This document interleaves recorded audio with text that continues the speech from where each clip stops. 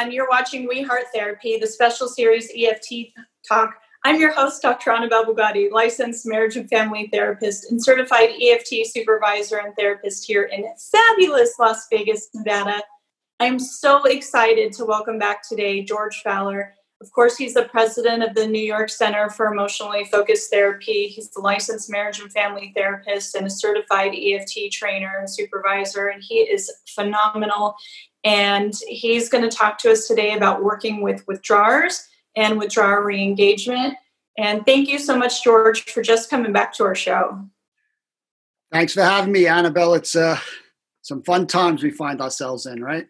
Right? I know everyone's dealing with the coronavirus right now, so it's good to have some some outreach and some you know psychoeducation to help keep us going as we try to do this model called EFT and you know withdrawers it seems you know i'm i keep my ear to the ground i try to listen to where everyone gets stuck and i get a lot of feedback about withdrawers and you know the way that they withdraw the way you work with them seems to have a very diverse spread but let's just start a little more broad and general. And george if you could maybe offer us kind of a general snapshot of you know what are these positions of pursue and withdraw and how do we understand those as perhaps different than an attachment style such as anxious or avoidant or disorganized all right, so where do we start? I mean, everybody's got their own style for how they organize the material. And for me, even the concepts of pursue and withdraw, they have much more in common than they have what makes them different. So mm-hmm. I, I want to start off with that. Right? It's the same emotions, the same attachment needs. I mean, how do we focus on their humanity? The mm-hmm. categories themselves just make it a little bit easier to attune to. So, right, if you know a pursuer is susceptible to messages of rejection and withdrawers failure, it just makes your attunement a little bit easier.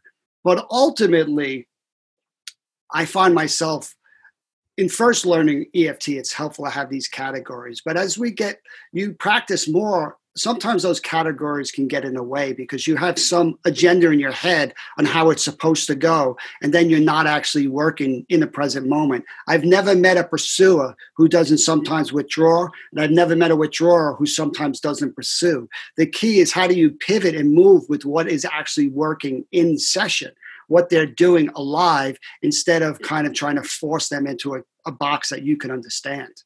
Yeah, and I think that's part of the organizing everything and understanding the moves is by helping to understand who's pursuing and withdrawing. But I noticed that also can get kind of complicated in stage two when you know you're working maybe with the couple sex relationship and maybe the cycle's flipped and now the person who normally withdraws emotionally is pursuing sexually you know or you have pursuers who will pursue superficially for contact but you know underneath when you try to move closer to their emotions they avoid like the plague. So it's not really the same thing as their attachment style because you have withdrawers who are anxious as well and you have pursuers who are avoidant as well. So it's not quite the same thing. Right and that's why you need the flexibility to move as their strategies move. Because even if I have an avoiding attachment style, there's going to be some times where I'm coming out and I'm taking risks, right? And in those moments, I'm actually more pursuing, right? It might be quicker for me to go back. But it, ultimately, even the term withdraw is somewhat pathologized. I mean, we're we're we're in the business of getting people to come towards, right? So these people who tend to go away bring up a lot of reactivity in all of us. I like to even change the language right from the get go that a withdrawer is really a protector, right? Even that word, that change in name allows me to be non pathologizing. We wouldn't be here as a species if, if we didn't learn how to turn down feelings, stay calm under pressure, right? This is incredibly adaptive. It's how withdrawers fit in, it's how they feel good. There's so many good qualities about being able to do this. So I want to start off with that. I'm always trying to connect with what's before me before I stretch people and try to get them to see the cost of something, right? So even out of the gate, when we see we're talking about withdrawals, start off with honoring that mm-hmm. before we get into the problems of that. Yeah, I think that's a really good point. It seems that when therapists come into sessions with their pursuer and withdrawers, they kind of get out in front and they're trying to stretch the withdrawer from the get-go. Let's let's hurry up and get you to be present or stay engaged, and it's too early for them that is captures the essence of most struggles with withdrawal right? They're well trained to pick up when emotion is increasing and they have all these strategies to, to turn it down and the therapist's job is to kind of get them more emotional. So it's a setup to miss each other right? So how do you recognize and, and stretch their capacity to do more emotions? Yeah and so this is so it seems like the in general you know, while everyone else does seem to organize the pursuer and withdrawer, it's more of just their move in the cycle. Are they moving away? Are they moving towards? Not in out of a, a sense of judgment, but just out of a sense of organization. You're just noticing who's moving towards outwardly and who's just pulling away or who's turning away. Well, not to make it even more complicated, but it's really the motivation of the behavior because sometimes withdrawers move towards, but they're moving towards to placate their partner and calm down the emotion. So it's really what they're, what's the goal of their move as far as they're trying to increase the emotion or decrease the emotion? Yeah, yeah, that's right. That's right. And I think that's why it gets so convoluted with avoidant attachment. Oftentimes it goes hand in hand, but you know i think avoidant attachment is just i can't deal with this i can't even let myself get close. It's so much deeper than just how they deal with the emotion right? Withdrawers might turn down the emotion because you know maybe they don't want to avoid it but they just don't see a path to success in it if it's loud in their partner. So they turn it down not necessarily as a bad thing but tr- it's just their strategy to try to find a path towards peace together. I like to tell my couples, my supervisees, it really is a simple math equation. Withdrawers learn to pull away from emotion because when they stay in it, it doesn't work so well for them. All withdrawal re-engagement is is is helping them experience success with emotions right? When they experience success, their muscle memory starts, starts to shift and they want to do more of that. So, mm-hmm. really, that's what we're trying to do, not work too hard here. How do we hold up the mirror in a loving way and help withdrawers stay present and experience that success? Yeah. And that brings up a, a very important point is how is our work with withdrawers going to look different in stage one versus stage two? So we know stage two starts with withdrawal re-engagement, but you know when they come in and the withdrawer, you know, let's just go with the most extreme examples. You know, where you have withdrawers that just say, "I don't have any feelings. There's no reason to have them. I have no needs." You know, and so how are you? Where are you moving the needle in move in stage one to get them from that place to where we know they're ready for stage two?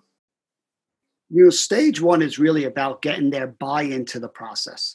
They have good reasons why they don't want to do vulnerability. Therapists love the word vulnerability. Withdrawers hold that traditional word. It's being open to attack or weakness. They don't want to do it for good reasons. They've been trained not to.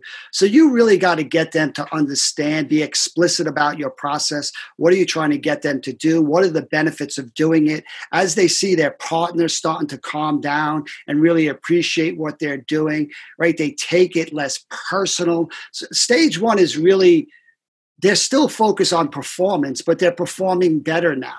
They're starting to get educated on what's expected of them. They have some success doing that, right? The system starts to calm down, but ultimately, they're still doing emotions for their partner. The difference in mm-hmm. stage two is you're really trying to get withdrawers to experience success for themselves, right? They really start to get the benefits of the emotional process and vulnerability. And, you know, that part of them that starts to stand up, not to placate their partner or to perform, but because they want it. Really, you're seeing a, a reduction of the fears and it's starting to replace with longings, right? It's those mm-hmm. longings. Withdrawers are so good at stopping the bad and being on the defense that there's not a lot of room left over for what they want in their hearts to improve in these emotional places. That's a real radical difference in stage two, right? They're re engaging for themselves, not for their partner. So in stage one, would you be helping them? Would maybe the goal would be to help them stay present? Mm-hmm. And stage two, you're kind of taking that to the next level, which is engagement but maybe by the end of stage one, you're going for just present, just the ability to tolerate the emotional space with their partner and just stay around as opposed to retreating. Exactly, presence, but to have presence, they have to have some success. So, what am I trying to do in stage one? A perfect example when a withdrawer says, I don't know. Right, most therapists are like, "Oh, wait a second! If you don't know, I don't know. Your partner doesn't know. Now we're all going to start pushing that withdrawer, and we know what they're going to do." I'm trying to train myself to say, when they say, I don't know, be like, yes, where this is the opportunity. How could they know? This has never been an option. They never really look at this and try to put words to it. Celebrate that they don't have words. Help them recognize that not knowing is exactly where they're supposed to be. Right? It's that it's that process that they feel like they're getting, they're doing something well that makes them want to do more of it. Mm-hmm. But what about also the type of withdrawers where, you know, they don't necessarily go to not knowing, but you can tell that they're completely in their head and that they're giving you the socially acceptable response of what that emotion should be. Like, I see my wife in pain. I know she, I know sad is the appropriate thing, but you, as the therapist and their partner, aren't buying into it because you know that it's all intellectual. That's the difference. I am buying into it. What I mean by that, that is a live strategy in the moment that they're employing right? So when a withdrawer goes to their head or tries to give advice or focuses or makes a joke or, you know, deflects or minimizes, all of these strategies are live strategies that are trying to turn down emotion. They're much better at emotions than we give them credit for withdrawers. They have perfect timing. You could almost it's it's like clockwork. When their partner's emotion starts to rise, expect one of these moves to kick in. And instead of seeing that as an exit or them not wanting to do emotion, point it out to them in a way that says, Anabelle, you are so good at that right? Every time George says something that you feel might head this conversation in a wrong direction, you make a joke. I mean, you're so resilient. You are so creative in how you do things. Like, do you even notice that you do that? I'm trying to bring attention to these moves that withdrawers are doing in session that are all about emotions they just don't have the language to describe what they're doing. They need my help to really, I want to help them recognize they are so much better at emotions than we give them credit for. Right. So that laugh that has bad timing. I mean, how many times have you seen this in session where the pursuer starts talking about something intense and then here comes the joke from the withdrawer? And then the pursuer rolls their eyes and we're like shaking our head, like, are you kidding me? Like when right. I see that now, to turn and share, and they start busting out into laughter all of a sudden. Right. But imagine if you were to withdraw, and I would say to you, "Wow, Anabelle, I just just notice, you know, what good timing you have." Right? You know, what are you trying to do? So these moves that they have, I'm trying to name them, and I'm trying to honor the function of what they're trying to do right? When we do that, it helps withdrawers recognize, you know, wait a second, I do do a lot of these emotions and I have good reasons for why I want to do these emotions. To me, that's really what stage one work is about. It's helping withdrawers notice what they're doing and actually what they're looking for in these moves. That's when they start to buy into the process and say, hmm, that's interesting. Maybe there are different ways of me doing that that are, would could be more successful. So, could you give us maybe a, an example of something how you, something you might say um, to make this process explicit to the withdrawer in stage one to explain to them why it is that we're going after emotions? Yeah, I think that getting their buy-in psych ed is really important for people who live in their heads, and that's where they find safety so often we're pushing for these big words like that must make you feel scared or lonely and that's that's only increasing the emotional temperature. They don't want that. So i want to stay in their head. What is it like to not feel clear? What is it like to feel confused? What is it like when things you lose structure when things are not predictable? Like meet them in that place right and start helping them start realizing that's all emotion. Every time that that withdrawal goes to their head, going to the head is buying them time, right? Taking space for a withdrawal is what makes them feel calm. Right. So we need to recognize in session when they're taking space, they're not doing that to reject their partner. They're taking safe space to actually find a little bit of safety.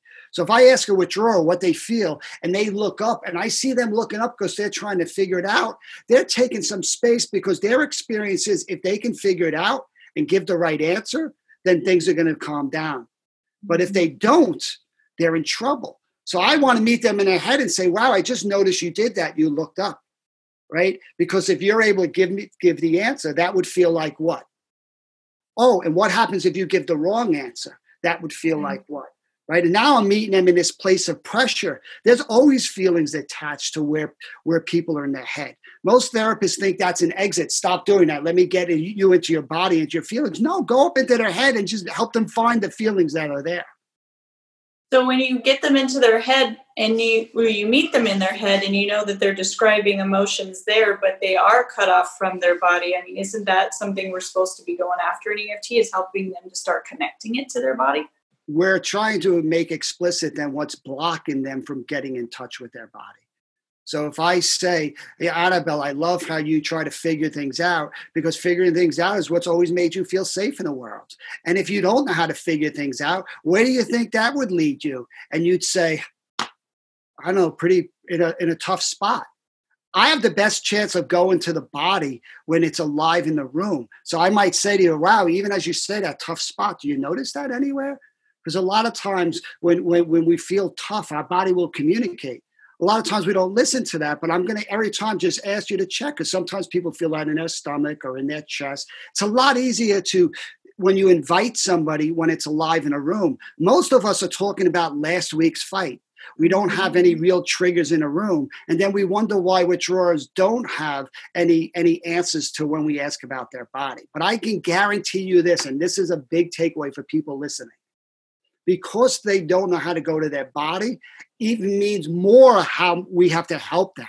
Every session, I am going to be asking this withdrawer where they feel out in their body. The beauty of going to the body is one, it guarantees it's alive in the room. Yeah. So we're working with real emotion. We're not just hypothetically working with emotion. And two, it's giving me these physical markers, like where do you feel that fear or that pain, what the failure. Once I have those locations, once I get the sharing and the partner's responsiveness, I'm expecting that to shift, right? I'm going to measure my work. I'm seeing if it's progressing. It's also giving me the block. So that's what I started out. When you're saying I can't go to my body, I would say, hmm, that's interesting because you were really helping me understand this hard place, but you don't notice that anywhere in your body. So do you find yourself kind of trying to figure out how you're supposed to answer that question? is what's blocking the body that you can see the wheels spinning. If the focus is on the racing thoughts, it's hard to notice your own body. Mm. So in mm. that moment when they can't go to their body, they're going to give me what's stopping it. Now I'm going to shift towards that.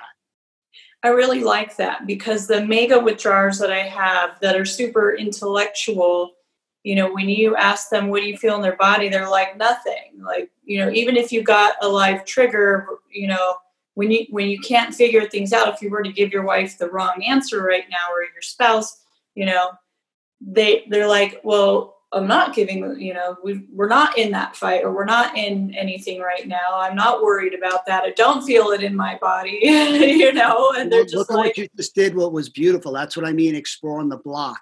If what this this withdrawer is saying is me going to my body runs the risk of giving more information that might be used against me, that might be misinterpreted. Why would I want to do that? Right? Mm-hmm. I have the most safety staying up here and trying to anticipate what I'm supposed to say because that's what I've been trained to do.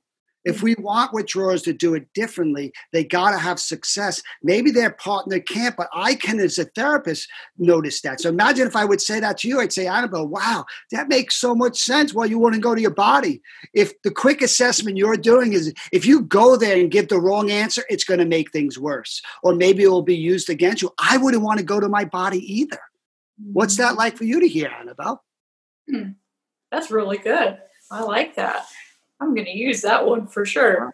That's where you know that's a big a big stuck place, and this you know moves into stage two with the withdrawers is you know i like how you made that beautiful distinction that you know in stage one yes they're still kind of performing in the emotions for their partner and in withdrawal re-engagement we're helping them prioritize emotions for themselves and one of the biggest things that i run into in withdrawal re-engagement is withdrawers who will say that they're that they don't have any needs that they're fine as long as everyone else is happy which you know is kind of like an external thing. It's not an internal this is what i need to feel happy. It's as long as there's no chaos then i'm i've learned to survive which really doesn't tell me anything about their needs other than i just don't like to live with drama. Well it gives us a real window into into their humanity right? That's a pretty logical thing when your body is assessing for threat. There's less room for the longing, right? So if if my partner's happy and that means we're not fighting and that means the emotion is is low, then that's a real hold on a second. That's a real safe place for them. So internet almost went out. Oh, oh it's okay. All right.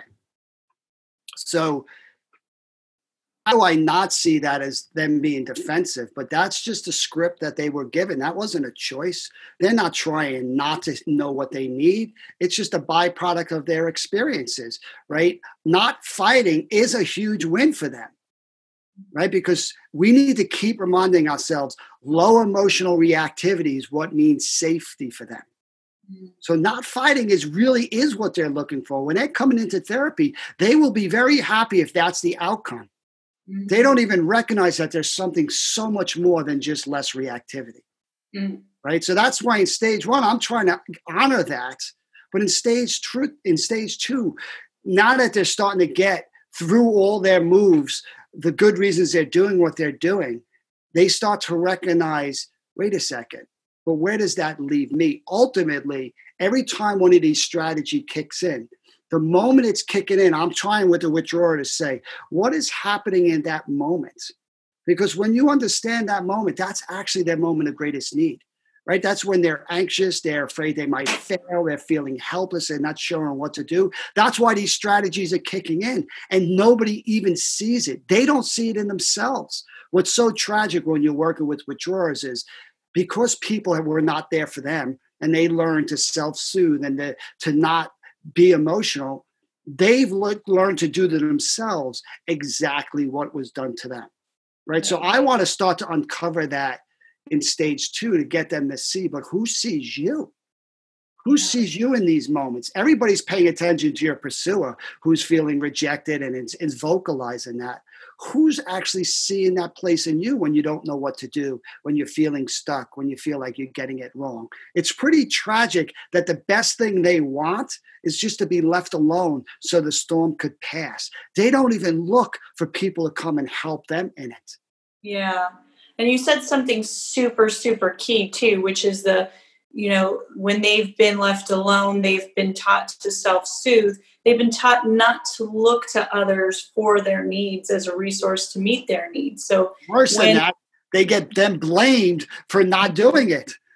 Right? Yeah. Nobody shows up for them. They do the most resilient thing they can do is they figure out how to best self-soothe. And then they don't know how to be there for their partner's emotions and they're blamed for that when that is the math equation. Right, right. So now so in stage two you're talking about you know meeting them in that place really validating how this developed you know the good reasons they have for it.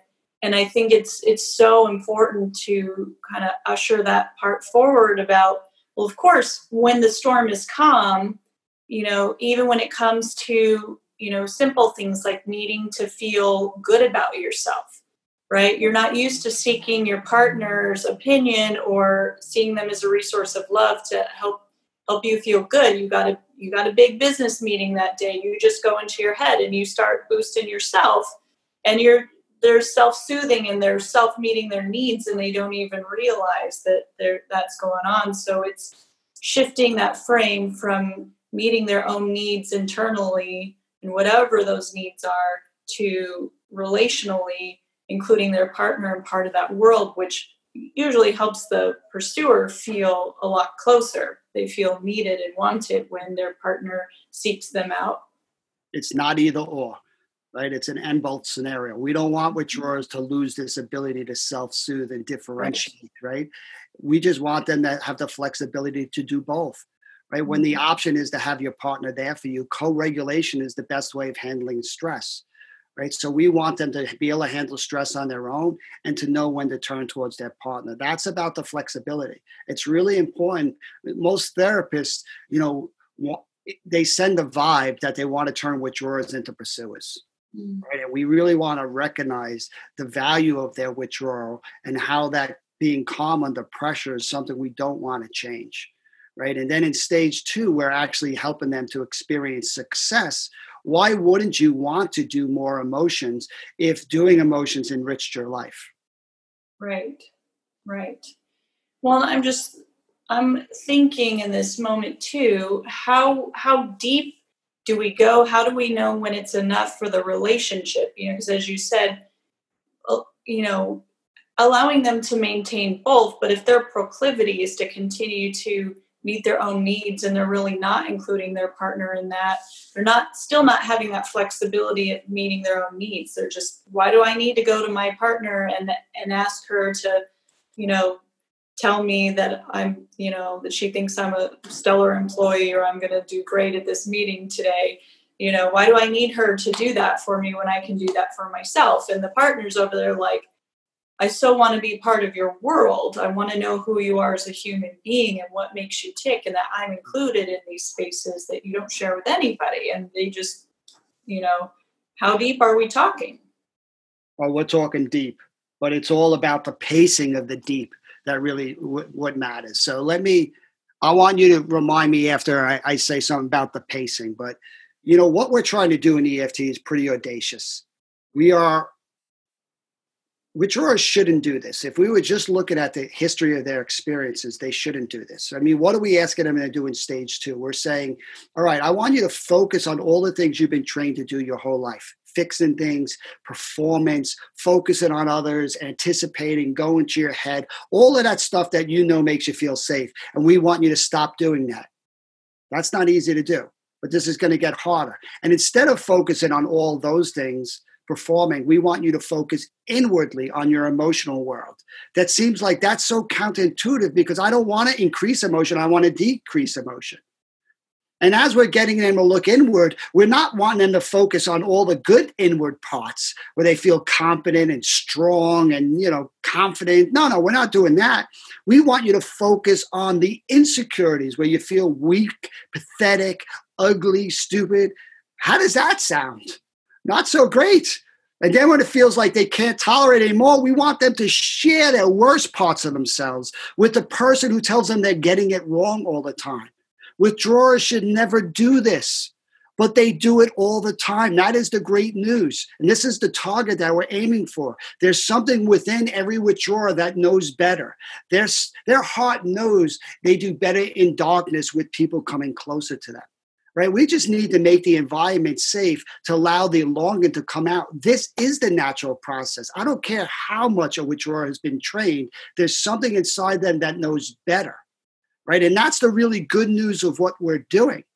It's about creating the safety. And, and when you see this with withdrawers, and I work with some of the most shut down withdrawers you'll ever see, when they start to see the benefit for them to engage and they start to have some success, they don't shut up they got years of makeup to do, right? They really start to open up in a different way.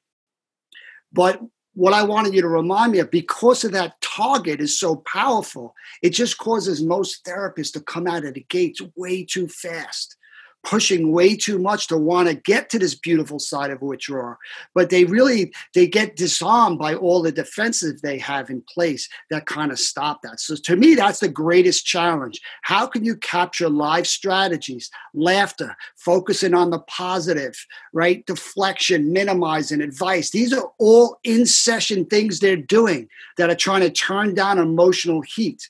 How do you show them that? Hold up the mirror in a way that they're like oh that's me when you tell them it makes sense what they're trying to do and they're like oh okay i make sense right that validation from you to therapist is helping them in moments actually re-engage to me that's the harder work in stage one that sets the the the environment to do the deeper work in stage two. But if we have a good platform in stage one, we're we're good to go in that stage two.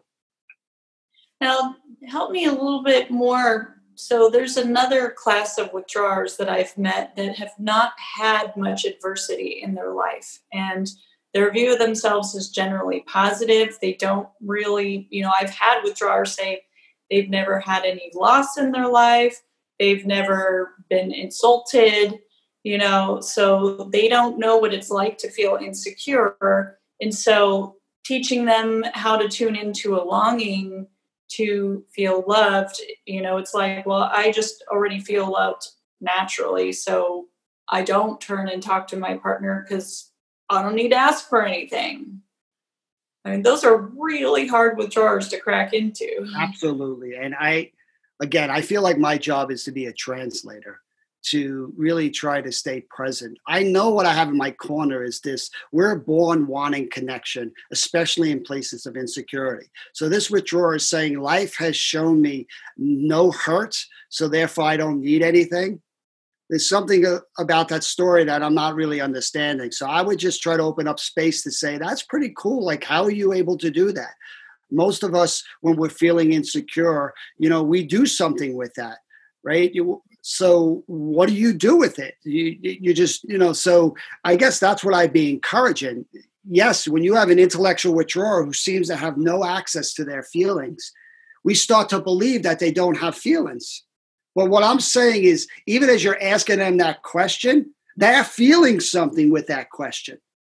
They might think you're you're asking them a question they don't have the answer to. After they give you the answer, you can see them kind of scanning. Did you like the answer to that question? Did they get a good job? Did they kind of fail with that question? What is that? That's all live emotion. So as as if you would ask me that question, or you know say say you to withdraw and i asked you and you said to me no george i don't really have any feelings right? I might say to you Anabelle that's really good. I like how quick you answered that question. It's like you know what? If if i if i we all agree that's the case then where would that leave you? That you know you've just had a really good life and you really just haven't had a lot of insecurities. So if i would buy into that what do you think that would do the for the emotion for the withdrawal calm them, maybe. That's what they're looking for. They're hoping to not have me come at them and push them. And yet, that's what most of us would do as therapists. I would see that as an exit, and I'd say, Anabelle, Anabelle, are you kidding me? You've had no bad moments in your life, nothing of insecurity. You've had such a safe. Well, let, let's go into that. And already, my vibe is telling you what it's attacking you, saying you're wrong, that your experience is not right. I'm increasing the emotional temperature. And I know what that's going to do with you. It's just going to entrench those defenses that are well in place to turn down emotional temperature. Mm-hmm. What I'm trying to get all you listeners to do is to, to when you see these moves, instead of fighting these moves, help them see the good reasons they're doing it. What you're saying is a brilliant strategy. If everybody, if your partner and your therapist would just agree that you don't have a lot of insecurity, that saves you a lot of work. Mm-hmm. And if if they really do not have a lot of insecurity, how do you tune them into a longing for connection? I mean, like how would you enter into that where where it seems pretty simplified like because I feel generally positive all the time and and I have a out, positive outlook on my wife, I don't find myself feeling the need to open up or share silly opinions about how my day at work went or you know i already feel good. And i already feel connected. Wrong. See again we're trying to go too deep to get into the mm-hmm. insecurities. I want to just meet him where he's at or she's what, what he's saying is you know i am positive and yet my wife wants more and that's causing what in him? A frustration? It's causing mm-hmm. you know and and can he communicate that? Does he feel like his wife understands what that's like? I mean, if I was in a positive place and you're in a positive place, and that means we're safe, but you can't stay in that positive place, that's going to be pretty frustrating for me. And when I can't fix it and I can't do anything to change that, that's also a hard place for me. So, what I'm saying is there's plenty of insecurity in there. I just got to help find it when it's alive instead of trying to go to these deep places where the little boy was locked in a closet and daddy did bad things. Right, right.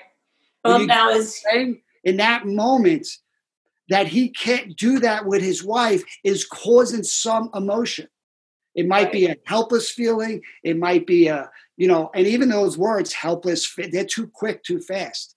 I want to stay with that must be hard, that must be challenging, that must be confusing. Those are mm-hmm. safer words for withdraw to kind of come alongside than these bigger emotional words. So, can you keep that in the back of your mind that the words you're using to describe their experience mm-hmm. can't be too loaded emotionally? Right. right? I'll go two words are usually fear, failure, scary, sad, hurt. Most of those words, too big of words for them. Yeah. They're more like frustration is usually where they live. Frustration, disappointment. Yeah, those are those are much closer words because if in my heart I do think I'm a pretty happy guy, and you want more of me, but I don't really feel like there is any. You don't should. I don't want any more of me. I like what I'm already showing the world, but that seems to not be enough for you. That's going to do something to me, right? There's something there live that I can work with without needing to go to these deeper places. The beauty of the process tells us where we need to go. So often as therapists, we're working too hard to try to we we want our clients to be where we want them. We're not meeting them where they're at. Right. But the process tells us where we need to go. So this withdrawer who's saying, I don't want to go deeper, I don't do feelings, I don't need to. I'm positive, I don't need to talk them into it. I just need to see how's that working out for you. Yeah. And how's that working out in the relationship and just meet you there because that's where the emotions are going to be. But it's also interesting too, as you say that, I'm thinking about, you know, oftentimes the partner isn't even asked, you know, I think a lot of withdrawers think that it's overly complicated, that they're supposed to share these big visions and cry every time. And, and that's not even what they're partnering for. They just want to be included in their humanity, to be to be to have the withdrawer share that you know the deeper more intimate part of themselves that they don't share their innermost thoughts and feelings even if they were really positive like i had a great day today you know. Nothing really bad happened but yet if that's all it took to open up to your to help your feel connected to you where, where's the resistance coming from from opening up and talking about that symbol. Let's take the highlighter out there. Again, this is another mm-hmm. critical mm-hmm. point that you're saying. Withdrawal re-engagement is the withdrawer having success with a live emotion. Mm-hmm. It doesn't mean they have to go to deep places, have these big crocodile tears, have their partner mm-hmm. responding to them. Right? If a withdrawer can talk about, hey, when I feel really happy and we're on the same page, my world is pretty safe. And yet when you're not happy with me, that's a hard thing. That's beautiful emotional engagement. That is where they're at. This is their truth, right? Withdrawal re-engagement. I, I don't use the word vulnerability. It's really about them being authentic with themselves, being mm-hmm. present and genuine, and just opening up that space to show themselves right? And if they would do that and have success, if I was a withdrawer with being positive is really important to me feeling safe, and I can't maintain that because my partner seems to want something more, how could that not be hard for me? I might not have words for that because that would mean going a little bit more into the emotions. But if I have a therapist who can meet me in that place of hard and not try to push me too fast and celebrates my moves as they're going to kick in, that are going to try to turn down emotion, I'm going to start having more success. Hmm. hmm. I just got so many withdrawers thinking in my mind as you talk about that, you know, and this is all really good stuff. And and what I'm also wondering is stage two only about going to insecurity? I mean, isn't it also about longing to feel close and loved by our partner? That even if we do feel secure, we still have a longing to be close. And how do we convey our desire and that longing to our partner? Every every emotion is not only communicates what the problem is, but what the solution is, right? Step five is about really sharing the fears, the, the negative views of self. Step seven is sitting in those fears and allowing the needs, the longings to come out. For most withdrawers, there's not a lot of space for that. Right? So that's why withdrawal engagement is a slow process over many sessions. You're building their capacity over time to stay in their fears. And the longer they can stay in their fears, there's finally an opportunity to listen to what their heart would want in those fears. But most therapists are asking withdrawers in stage one what they need, and then they get surprised when they don't know. When that is so predictable, I can't really know what I need if I can't even sit with my own fear. Yeah right? So when you build that capacity, but it's good to know a list. Like if my fear is failure, like what would I need in that place? Mm-hmm. Even the words we use, failure is not such a great, you know, it's not so emotional that shows our needs. Is it, I need to be accepted even if I fail? Is it, if I fail, you're, you know, you'll still love me. You'll still respect me. I mean what trying to help put words how do i know the need is real is when they could ask it in a way i don't know the answer to the question. Mm. i think and for a lot of withdrawers i found it's will you still see me as a good partner even if i fail. Right. That's a big one. Yeah. Yeah. So you're really saying that you know part of one of the biggest things with working with withdrawers is not to get too far ahead of them and try to push them into where we want them to be. It's to really attune to them, to not get into this battle over words like using sad and fear and, and things that are too big for them, but being able to understand, you know, I mean, we understand what frustration and disappointment is about. We can use their words and come into it with them and reflect that present process. And I think that's where it does get kind of tough is knowing how to reflect that when somebody says, I don't have a need, everything is positive. Like therapists don't know what to do with that. They don't know how to get curious. How we, that's and that's the key. So when you say that, my curiosity says, I, I love how you do that right? Anytime I start to push for some emotions, you remind me of how that's not so important to you. What's what matters more is that you keep things positive. That there's something about staying in positive emotion that feels really safe for you. Thank you for sharing that for me right? I, am trying to honor what their live emotion is, right? When my question is too far in front, I'm asking too, I'm asking for something that's turning up the emotional heat. You know, I have to be ready for these for these corrections, right? They, that's just a process trying to correct itself. Mm-hmm. But yeah. I don't also, because we're honoring these protections, you know, for me, it's name it, then honor the function. What are these these strategies trying to do in buying space and, and turning down the temperature? I want to honor that. But the third move is I'm always trying to return to, all right, but what was that moment before the strategy kicked in? Right? Because there was something emotional, something vulnerable starting to happen that your body said, all right, let's make, let's stop that from happening. There is a fear there, there is an insecurity. And I'm constantly trying to stretch that withdrawer to come back to that place to see themselves, to recognize if they always leave themselves there, nobody will ever know them. The cost of this habitual putting up walls and turning down emotion is they lose themselves over time. Yeah. Right so as we start to get withdrawers to recognize that, right, they start to fight for themselves. They're not they're not standing up to placate their partner or perform. Stage two, they're starting to do it for themselves. Right. So that's step seven when we start to have these longings. I mean, so often you ask a withdrawer what they need, they say to fight less, for you to be less critical right? But that's just focusing on the partner. When you really get them to sit in that place of vulnerability, then asking for what they need and not knowing the answers. I want you to listen to a couple of these. Imagine a withdrawer saying, Their truth is, I believe I'm flawed. No one has ever seen me here. Can you see me here and tell me it's going to be okay? You can see how they don't know the answer to that question. That's what makes it so risky, but it's also what makes it so corrective. That in these places where I don't like myself and I don't show anybody because I don't want it to be used against me, it's actually my place of greatest need.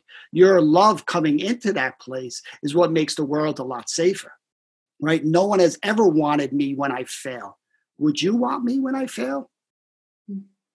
I do not fight for me in these places because I feel like I don't deserve it. Can you fight for me here? No one has ever chosen me when I get it wrong. Would you still choose me? Again, notice how all these these these these asks are coming from this terribly vulnerable place. And we don't want to be reckless when we get withdrawals. We want all this safety in place before we ask them to take this big risk. Right. But this is a great opportunity for the pursuer to be superwoman or superman, right? To show up in a place nobody else has, to literally retrain this nervous system that the best way to handle that fear is not alone, but in the love and embrace of your partner. Yeah. I love that. This is really, really good. I feel like we could probably use a whole two or three day training just on withdrawers because that it can look so diverse, you know, according to withdrawers and you know, being able to understand what you see in front of you, I think is one of the hardest tasks, yeah. one of the hardest skills to conquer in EFT.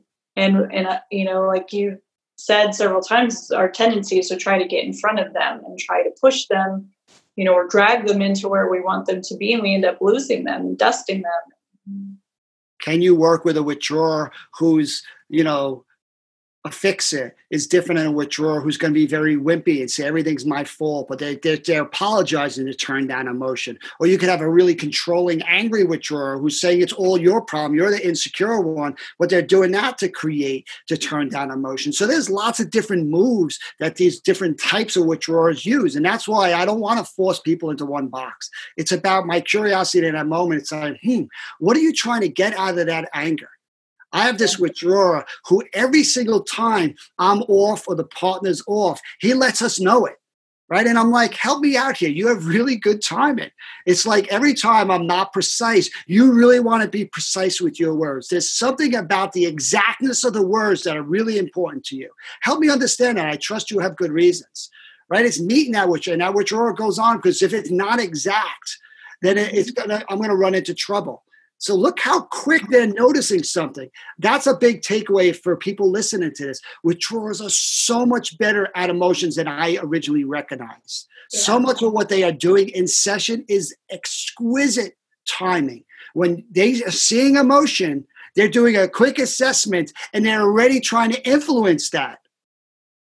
Right? For people yeah. that don't want to do emotions, they're, they're doing a lot more of it than we realize. That's right. That's right. And there was something else, if I can think of it real quick before we wrap up. Um, oh, it's with the words where sometimes you know you're reflecting back and using their exact words but right. somehow when you even when you've repeated the words they've just given to you they're like no that's not it and the only and you tell me george if this is right the only thing that i've been able to figure out out of that which i just sort of figured out recently was that I think something about hearing someone else say it, even though those might have been their words, is sometimes it sounds different. Like, you know, maybe you've had those thoughts, but hearing it out loud, something about hearing it out loud or hearing it from somebody else kind of clicks that maybe that isn't right. So even though they just gave you those words, they're hearing it differently and they're like, no. It could be. Again, what I trust is I don't need to figure it out or explain it. They need to figure it out. So my curiosity is going to tell me where I need to go. If I reflect back and you say, no, George, that's not actually right, I'm going to say, Anabelle, thank you for that. Because most people just kind of agree with that, but you're making a point to say it was not right, that there's there was something I was missing. This is your way of standing up. There's something important here. And that's really it's really important for me to help you understand that. So thank you for that. So help me out. What did I miss? Do you notice how I did that? It's like a judo move. It's like I'm not going to fight the person. I'm just going to take it and go with it and turn it into, you know, into a response. There is some beautiful information they've given us. We just got to try not to take it so personal. And a lot of times that's hard. I mean, I've done so much self at a therapist. You know, I came up with, with, with Lisa Palmer, the ACEs model and a Hearts model, and how do you help? But what I've noticed over time is a lot of us as therapists we think it's self at a therapist because we can't access the emotion. But actually, if we had better training, we probably wouldn't have to have all these big things come up for us. How do we actually learn to be with these withdrawers in a better way? Instead of eliciting more of their defensiveness, how do we actually honor and get their way of being and, and really help them feel like, you know what, this is a good thing that I met with this therapist and opened up space and got curious. At the end of the day, the proof is in the results. When withdrawers feel like they have an advocate that really is helping them understand themselves better, why would they not want to do more of it? And there's just a lot that gets in the way of that. So for a lot of people listening, I'm sorry our training in this model that's I think pretty amazing what EFT is trying to do, but it's growing. And we're trying to get better at helping you moment by moment what you're supposed to do instead of these grand theories that just understand human behavior. Yeah. George, this has been incredible and you know, just so much of the information contained in here. I hope guys you're taking notes because this is really good stuff, really good stuff on how to work with withdrawers. Now, you have some exciting projects going on that are going to be starting soon where people can learn more, where they can really fine tune their training. Can you tell us more about those opportunities?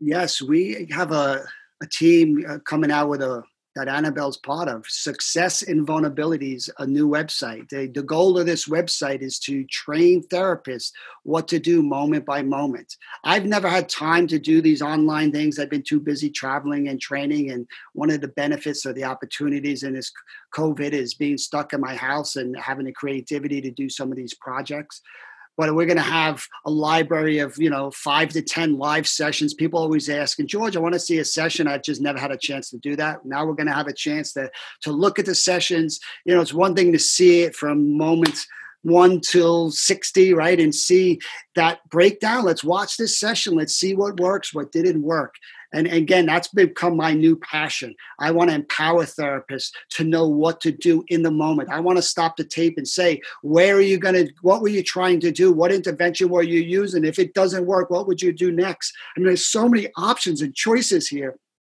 that oftentimes we don't even recognize. And that's how we slow down our own process. So people can look at that. Go to my website, georgefaller.com. It will have those links and abilities to sign up and all this fun stuff. Excellent. And you just recently appeared on, uh, you did a talk with the head of the Everyman organization. Yes, they have global calls, a couple hundred men coming together, these withdrawers who don't want to do feelings. And then before you know it, they're all in these little breakout rooms sharing their feelings, being authentic, being real. That longing is stronger than all their training. I hope that's the good news people are hearing here. I've never met a withdrawer who doesn't have something they want to share if they have success when they want to share it. And I also just want to just mention to my my podcast foreplay radio talking about sex and really trying to even a lot of withdrawers how do they get more present in their body and not just focus on their orgasm be more emotionally engaged mm-hmm. you know mm-hmm. that's hit the top five and Apple iPad, Apple downloads or whatever else for for sex. So I think we're we're in exciting times. EFT is hot. That's excellent. And I've recommended some of my clients listen to your podcast and they've loved it. So that's been really exciting. So guys, if you have if you guys have any interest and, and it's great just to hear the way that they talk about these topics, it really gives you a frame of reference as to maybe how to relate this material to your clients. And of course, I'm going to put the links to George's websites and his podcast in the description for this video. And We Heart Therapy is now a podcast as well. So, you know, yeah you get the benefit of the video, but you know if you're on the go and you don't want to use that Wi-Fi, you can also download it in your uh, iTunes podcast series. So that'll be exciting, and you know make sure that you follow George. You know he's traveling the country, he's traveling the world, he's offering trainings. You know as the world starts to open back up and we're allowed to do more trainings, he's constantly got something going, and you know you can welcome him to your area. You know if you want to have George come do a training in your area please contact him. I'm sure he'd love to schedule something with your community.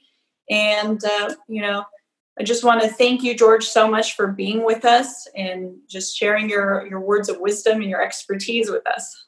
Well, thank you, Anabelle. You're, you're serving a great function for our community, and, and your, your passion for trying to get clearer is exactly what all of us need. So we're in this mess together. Good job. Thank you. Thank you so much, guys. And, you know, don't be afraid to message me, to email me if you've got questions, if you've got ideas on topics, maybe you want to consult on a case. Any of the trainers who have been on my podcast are also open for you to contact them as well. Don't be shy. Send us an email and we'd love to respond back to you. In the meantime, make sure that you guys hit subscribe. Thanks for staying tuned. More episodes are on the way.